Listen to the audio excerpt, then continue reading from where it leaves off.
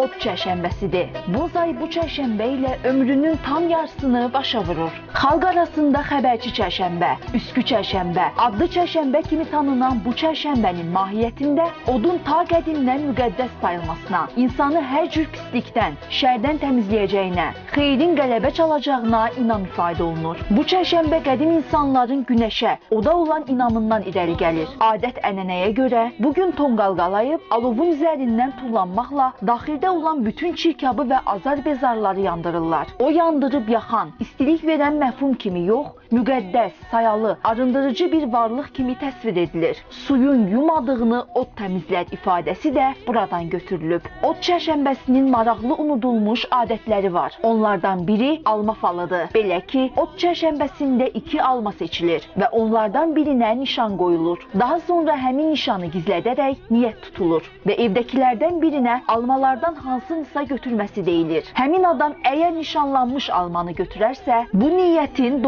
doğrulacağına işarə kimi anlaşılır. Burada istifadə olunan alma mifoloji dünya görüşdə xoşbəxtlik, uğur bəxş edən rəmzi motivin daşıyıcısıdır. Günəş istisini arzulayan ulu babalarımız od çərşənbəsində sübh tezdən günəşə qurban aparardılar. Böyük tonqal qalayıb günəşin çıxmasını gözləyər, odun şərəfinə nəğmələr oxuyardılar. Tonqal sönəndən sonra qızlar və oğlanlar külü yığıb onu kəndin kənarına ya da yola səpirdilər. Bu bir növ tonqaldan atılmış adamların azarının çıxıb getməsini simvolizə edir. Qədim dövrdə tonqalı yetkinlik yaşına çatmamış oğlan uşağı çaxmaq daşı vasitəsilə qalayardı. Belə od müqəddəs sayılardı. Tariximizdə elə dövrlər olub ki, odun üzərindən atlanmaqla məhkumlar xilas olublar. Deməli günahsızdır ki, od onu yandırmayıb. Od çərşənbəsinin digər maraqlı mərasimlərindən biri də il boyu ailə üzvlərindən birini itirmiş evlərin qarşısında tonqal qalamaqdır. Od yandırmaqla həmin ailənin saxladığı yas mərasiminə